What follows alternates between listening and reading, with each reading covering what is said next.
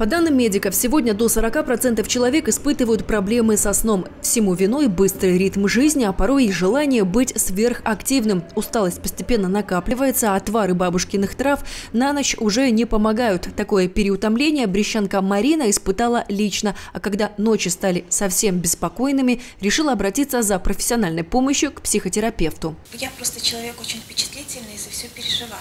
А темп жизни сегодня такой, что постоянно приходится решать какие-то вопросы. А мне надо, чтобы все было ответственно, грамотно, постоянно записываешь, ложишься спать, это все перевариваешь.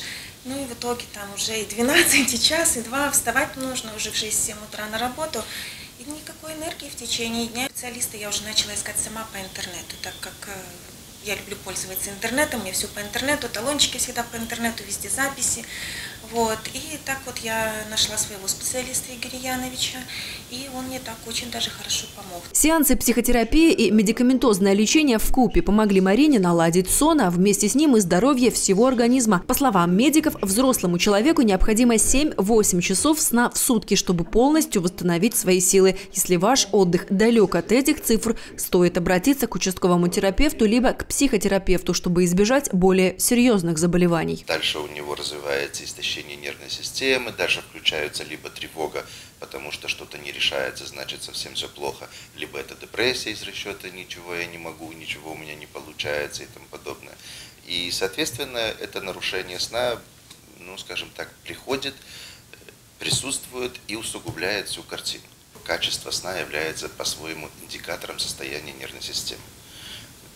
Чуть-чуть, если теории э, преподнести, то получается, когда нервная система истощается, то не хватает силы, чтобы поддерживать сон в течение всей ночи. Потому что сон это не просто упал и не шевелюсь. Там во сне, конечно, проходит очень много восстановительных процессов, которые требуют, чтобы нервная система работала более качественно. Кстати, ни одно снотворное вас не вылечит от бессонницы, а вот привыкание после первой примененной упаковки, которая хватает на месяц, гарантировано. В безопасном варианте снотворное принимается один-два раза в неделю. Избавиться от бессонницы можно, не принимая медикаменты. Все зависит от того состояния, которое у человека э, успело развиться. Конечно, если истощение нервной системы пошло достаточно глубоко, то тогда уже нужны медикаменты. А так иногда хватает э, таких приемов, как откорректировать гигиену сна, провести какие-то психотерапевтические сеансы, научить человека, там, скажем так, расслабляться, потому что обязательное условие засыпания – это расслабить тело. И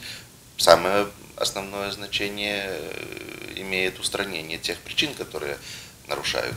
То есть если проблемы в семье, значит их как-то так нужно либо исправить, либо изменить отношение человека к семейным проблемам. Если где-то в другом месте, значит, соответственно, тоже показать альтернативные схемы мышления. Данные нарушения лечатся у психотерапевта, однако есть и другие, которые связаны с физиологическими трудностями, болезнями сосудистой системы, расстройством желудочно-кишечного тракта, различными болями, а потому посещение других специалистов является частью лечебной процедуры.